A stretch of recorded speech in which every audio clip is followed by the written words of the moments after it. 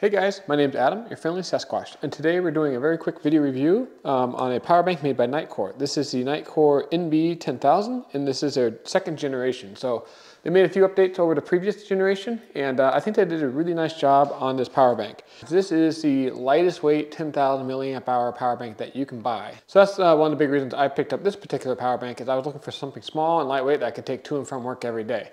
Uh, it's not intended to charge laptops or bigger devices, while it could trickle charge those. This power bank is primarily targeted at cell phones, headphones, um, AirPods, and uh, small camera gear. It's a, a lightweight EDC option that you can take every day to the office, and if you end up stuck somewhere with a dead battery, this thing will get you out of a jam.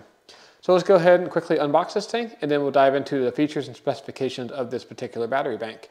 Um, first things first, I just kind of like the uh, packaging overall. They have a nice little um, you know flap here. You can see the carbon fiber of the product inside there. And uh, you know, just like everything Nitecore, it just kind of has a premium feel to it. To unbox it, uh, you know, you cut the tape on the side and it just comes out in this nice little tray, which has the power bank sitting right on top there. Again, it's carbon fiber, looks really nice, and you just pop it right out. Underneath the power bank in the little tray here, you have the USB-A to USB-C cable, along with the user's manual and warranty card, which you won't need since you're watching this video, you'll know everything there is to know about this particular power bank. One last thing, not included in the box, but when I ordered this power bank from Amazon, there was included a USB-A to micro USB cable. This is pretty cool because a lot of cameras and headphones and stuff like that still have the micro USB cable uh, port on them, so it's a nice feature to have. Okay, that's everything that comes in the box when you order one of these. Let's go ahead and take a closer look at the size and weight of this particular power bank. First, its length is 4.8 inches long, which is pretty good. The width is 2.32 inches wide, and the thickness is about 0.42 inches thick. So a real nice small compact package. Um, it's about the size of a smartphone, maybe a uh, iPhone 5, something along those lines. Kind of has the squared off corners like the old iPhones did. But um, yeah, a pretty good size and weight overall. And speaking of weight, the weight is 5.29 ounces. So again, not that heavy. This is less than half a pound. As far as carrying around and uh, portability, this thing definitely wins in that category. Nitecore is advertising that this particular power bank is 40% lighter than uh, its competition, and uh, frankly, for a 10,000 milliamp hour battery pack, I agree with them. Um, it looks like one of the smaller 5,000 milliamp hour battery packs, but don't be fooled. This is a high performance 10,000 milliamp hour battery pack.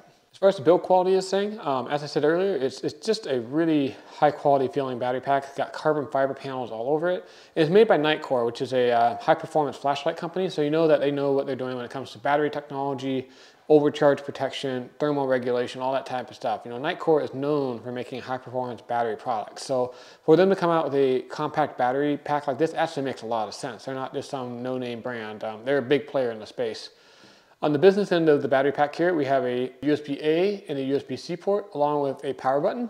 When you press the power button, there are four blue LED lights. They're pretty bright. Each of the four LED lights represents 25% battery state of charge. So it's real easy to check the battery status of this particular power bank.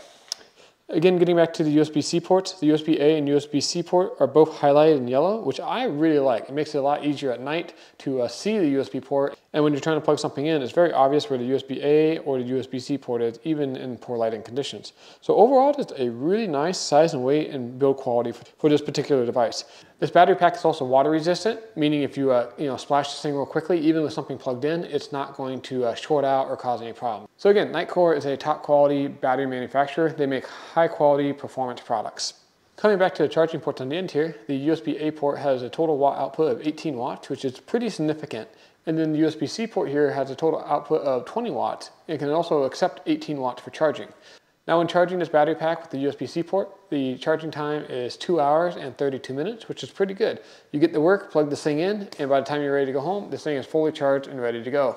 It does exactly what it's advertised to do. Um, it's a 10,000 milliamp hour battery, has a USB-A and USB-C port, which can both put out 18 or 20 watts respectively, which is really good for something of this size.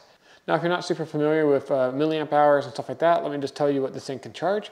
A standard phone is going to charge around two times. A uh, really large phone, maybe like an iPhone 14 Pro Max or something like that, um, this will easily charge that one and a half times.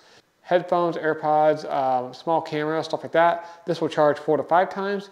And in larger products, while this does have the 20 watt output with the USB-C, um, it's not going to fully charge things like a laptop, maybe a large drone, um, but it would be good for topping those devices off if you end up in a pinch somewhere and you just need a little bit more juice to get you through the day. All right guys, that was my quick and dirty overview of the Nitecore NB10000. I would consider this a best-in-class power bank with the nice carbon fiber finish, the durable build construction, and the high performance outputs for the USB-A and USB-C ports. The fact that it's splash resistant is also a added bonus. Thanks for watching. I hope you found this video review helpful. If you did, make sure to hit that like button below. It helps the channel out a lot. And don't forget to hit the subscribe and bell icon so you're the first to be notified when I release new videos just like this one. Cheers!